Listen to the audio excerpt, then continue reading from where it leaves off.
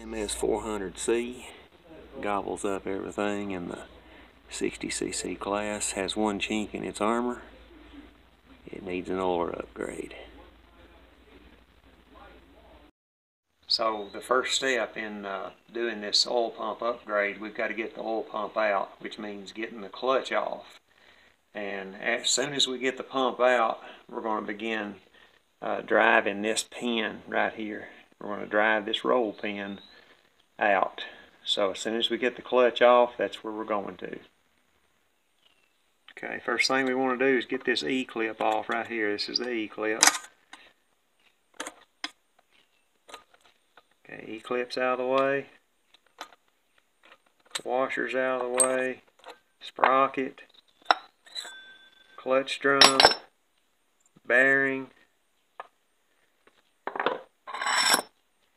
And this part, you can either put you a, uh, a stop against the piston and use an impact on this or take an old dull screwdriver like this and we're going to give it one wrap.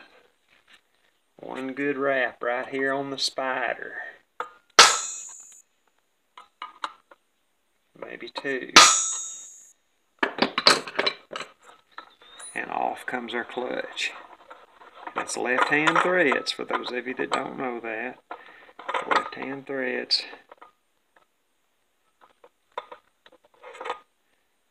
And then we got a scatter shield. That comes out. And then you've got your oil pump. Drive gear. It's called a worm gear. And then there's the oil pump. You got two screws right here, T27s, and the oil pump lifts out. On the back side of this, there's a small O-ring. And be sure to put that back in on reassembly. Drive this pin out, you drive it towards the saw body.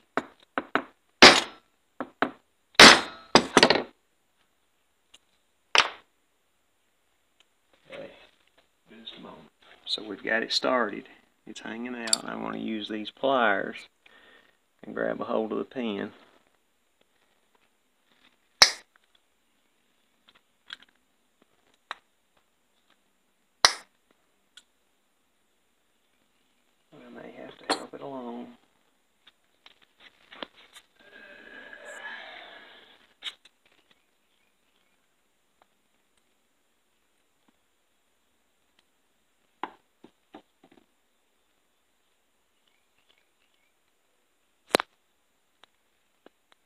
Okay. We've got our pin out. I didn't mean to pull it all the way out, but sometimes that happens. You just have to remember which way it goes back in. So we've got that out. That's a roll pin. Now I'm going to take a, a pair of pliers with very rounded jaws. And uh, this takes a large amount of grip strength, in my opinion. Some people can do it, some people can't. We're going to grab that uh, brass or bronze bushing like that right there. And this is an OEM oil pump body. So we grab that, we twist and pull, and out it comes. There's that. So we'll set that there as well. And now the piston or the pump piston will come out. Well, notice this nomenclature. This is the pump piston. That's what that is. So we'll twist this uh, control bolt and uh, get him out. Just gently turn it back and forth. That's another thing. You don't want to turn this too far or you'll break the you'll break the cam and we don't want to break anything. Okay, light pressure.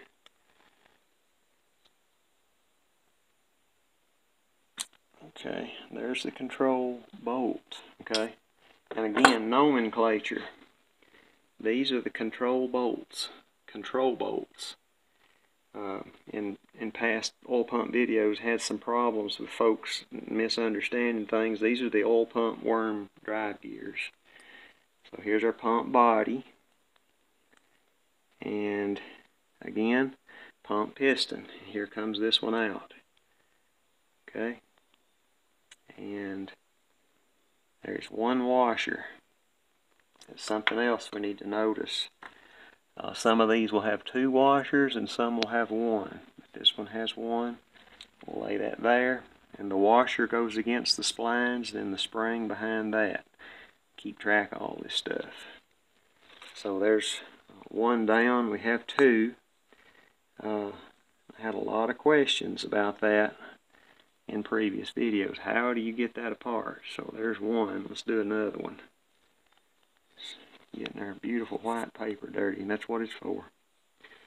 So there's our pump body. And another note, there are no difference in these pump bodies. They're, they're all the same. So here we go again. We need to drive that pin out first. So we're driving that towards the towards the saw. Imagine if that's on the saw, we'll drive it towards the saw.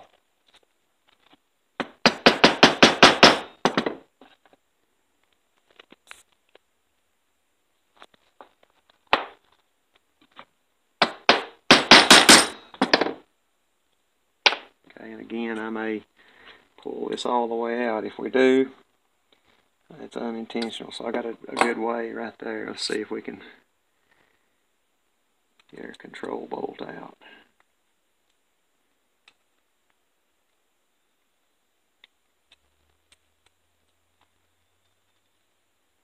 And I'm, I'm using gentle motion. You don't want to jerk or break anything doing this stuff. He said as he beat on it with a hammer. Hmm. Okay. Pulled it a little farther.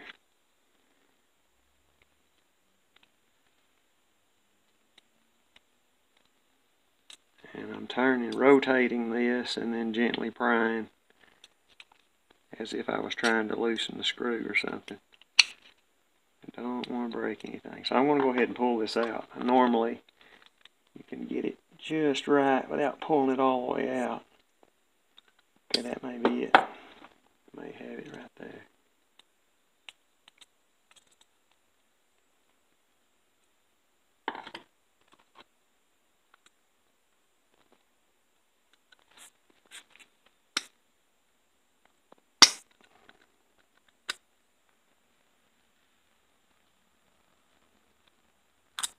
Okay, there we go.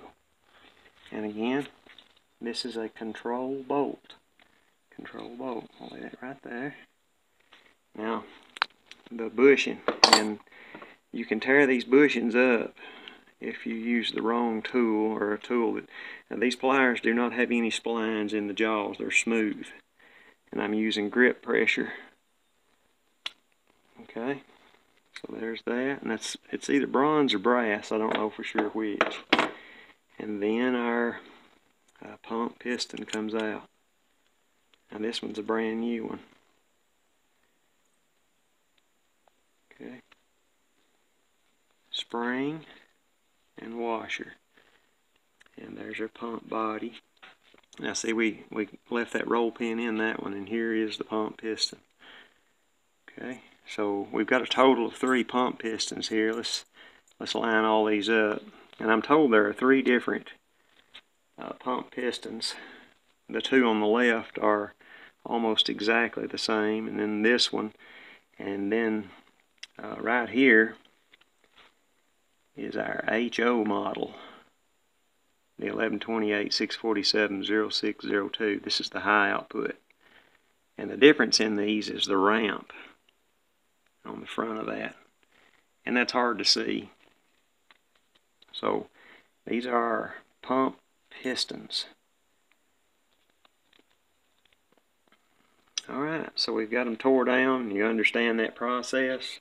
Had a lot of questions about how to do that. And so there that is. Um, so we'll reassemble and we'll talk more about this.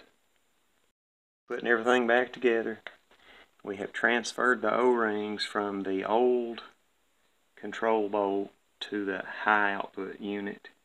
We've installed the pump piston with the washer against the splines with the spring following. It's inside there and then we have slipped the bushing in and we got the roll pin started back and this is an old pump and this is the new one but we're putting putting the HO internals in here. So we want to slip this in and notice uh, there is a flat uh, where your control bolt goes against. So we want to press this bushing in and uh, you heard it pop there. We'll push it a little farther. I'm going to be against this wooden bench and just press it on home. You may have heard another pop there, so we're all the way in. So now we're going to rotate our uh, control bolt and get it in.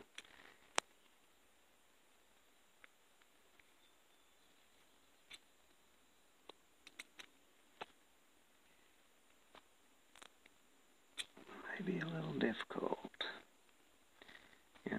I may have got this pin in too far. Again, we'll know when I pull it out. Well, that was not the issue.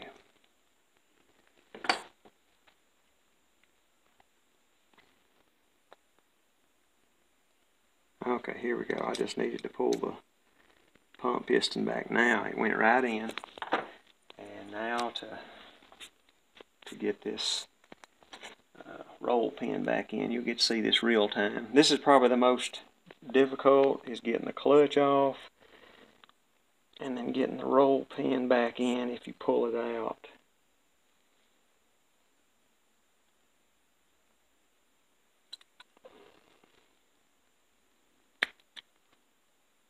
Super difficult.